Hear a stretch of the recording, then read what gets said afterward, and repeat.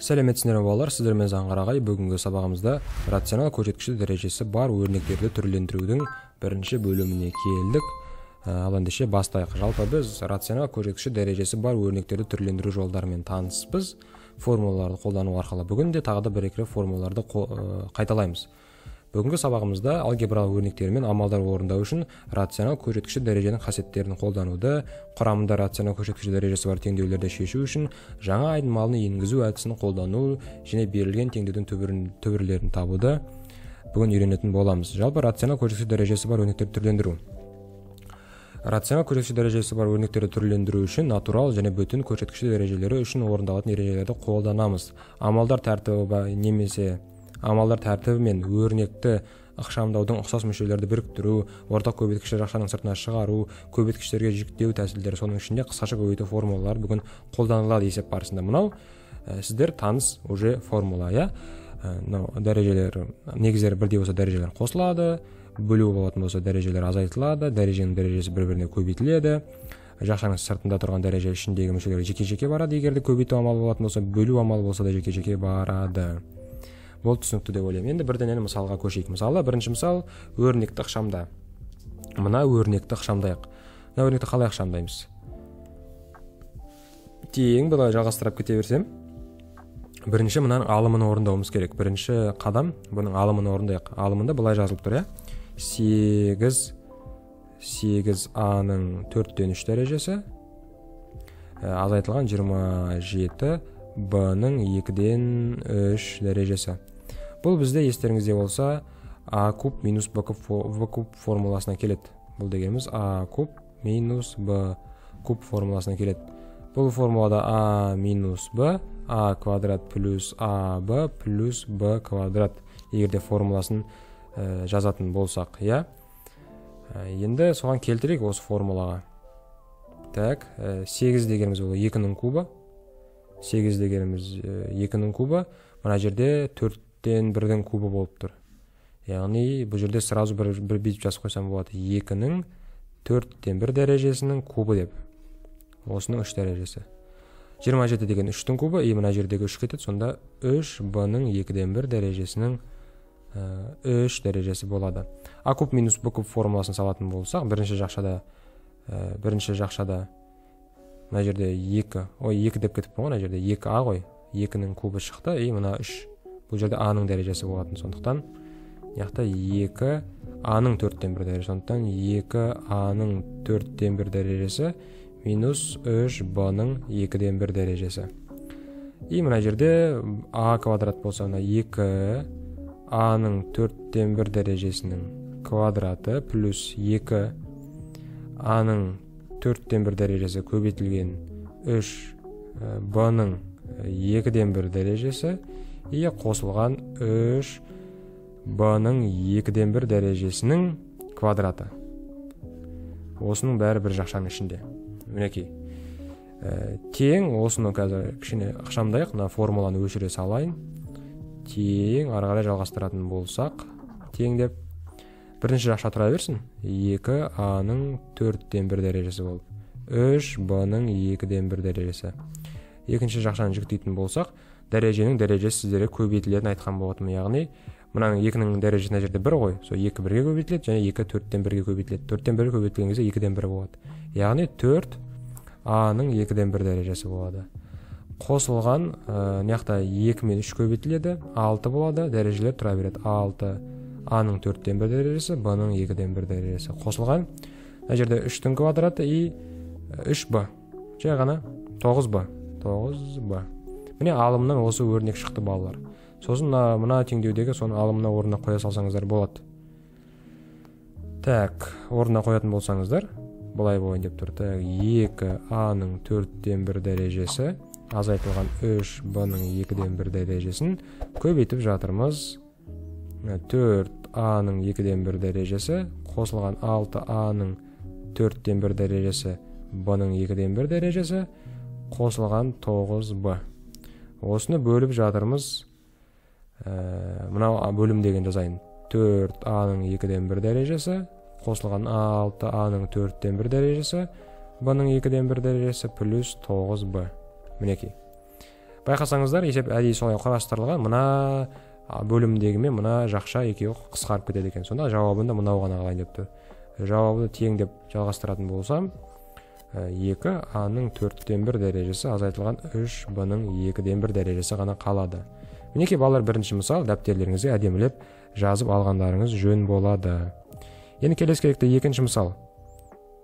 Өрнекті ықшамдауымыз керек. Тағы да сол дәреженің формулаларды қолданамыз. N-нің төрттен үш дәрежесі көбейтілген n-нің бес бүтін оннан төрт қосылған екінің n екі бүтін оннан жеті қосылған бір. Бұл жерде бірденен бөлшектің алымындағы өрнек иә екі өрнектің қосындысының квадраты формуласына келіп тұр. Мынау бар ғой. А, а плюс б ның квадраты яғни а квадрат плюс екі аб плюс б квадрат формуласына келіп тұр. Ал бөлімі болатын болса бөлімі болатын болса екі өрнектің қосындысының кубы. Қазір ашып соны қолданамыз. Так мен не үшін ауысып кетіп жатырмын мына жаққа. Өшіргіш. Қайда өшіргіш? Аха міне. Так тең деп жалғастырып кете беретін болсақ ә, бірденен формуланы айналдыратын болсақ былай болады. Тең. N-нің төрттен үш дәрежесі. N-нің төрттен үш дәрежесі. Мынау бізде а квадрат ә, а квадрат а плюс б ның квадраты. А плюс б ның квадраты. Сонда бізде мына жерде е-нің екі бүтін оннан жеті. Мына екі бүтін оннан жетіні екіге көбейтетін болсаңыздар бес бүтін оннан төрт шығады ғой. Сонда бұл дегеніміз мына еннің екі бүтін оннан жетінің квадраты плюс екі көбейтілген еннің екі бүтін оннан жеті көбейтілген бір қосылған бірдің квадраты деген формулаға келіп тұр сондықтан мына жаққа бірденнен жаза берейін. Бірденен былай жазамын. Ннің екі бүтін оннан жеті дәрежесі қосылған бір ннің екі бүтін оннан жеті дәрежесі қосылған бірдің квадраты деген формула міне. Мына формула ашатын болсаңыздар мына жақша қайтадан шығады сіздерде. Енді келесі кезекте мынау ннің ннің сегізден минус сегізден бес дәрежесі ма?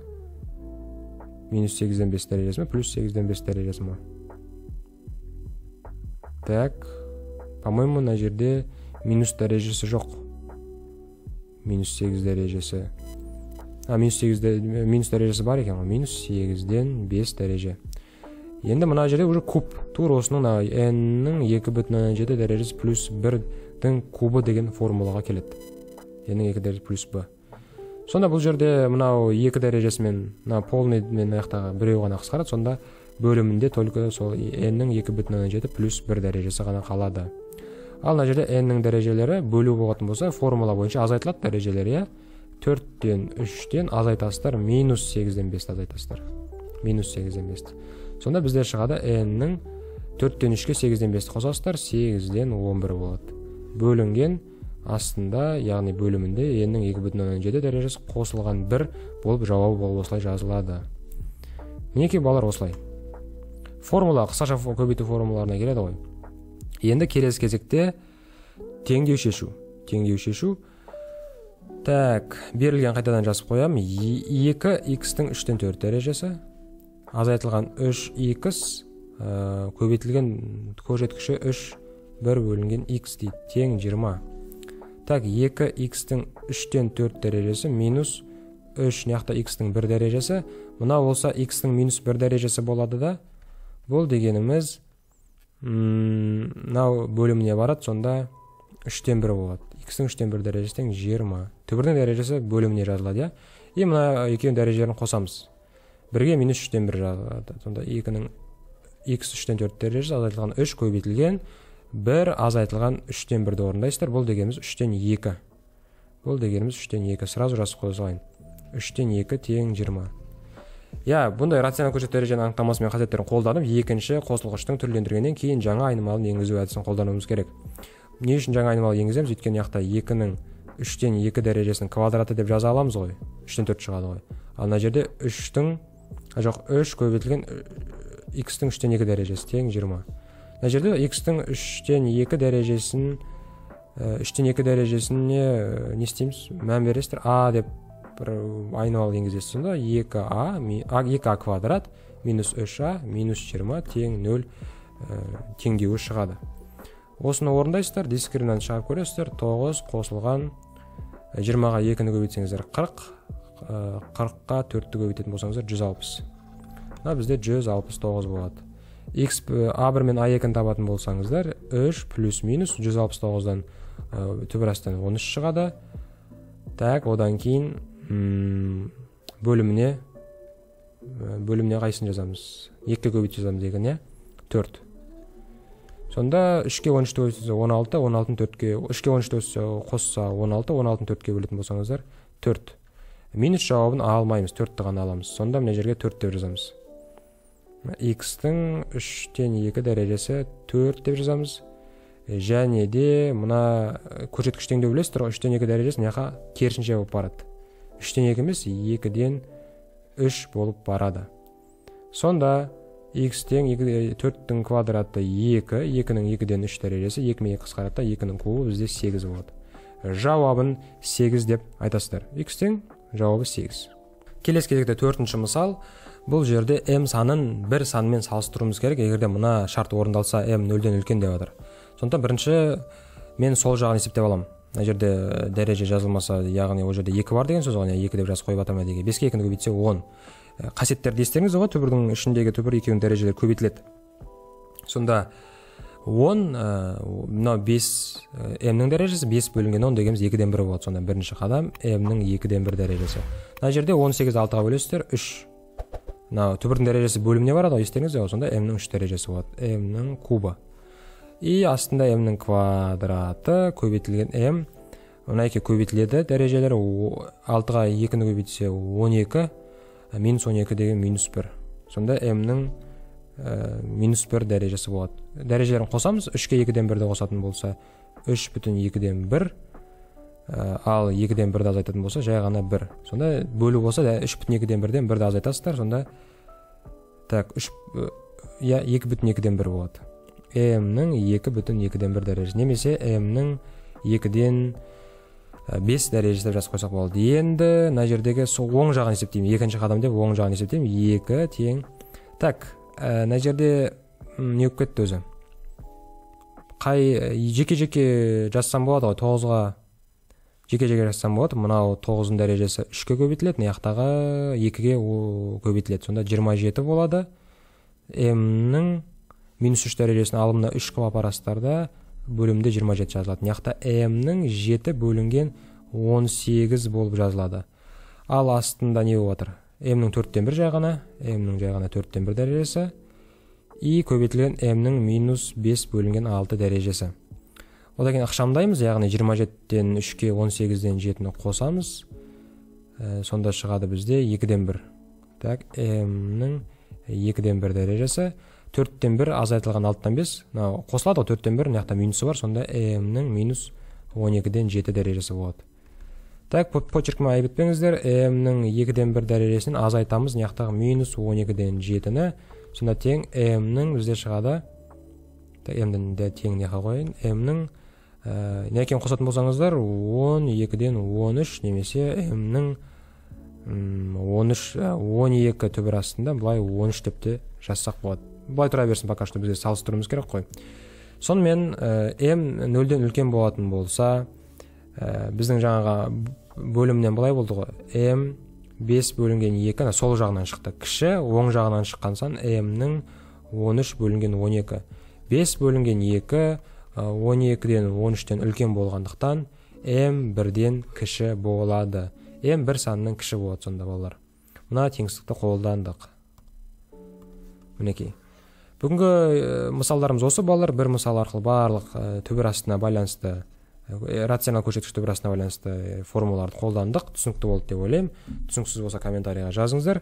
Ә, онлайн мектептің тапсырмасын орындаңыздар. Конспект ретінде мен көрсеткен мысалдарды жазасыздар. Келесі кездескенше сау болыңыздар.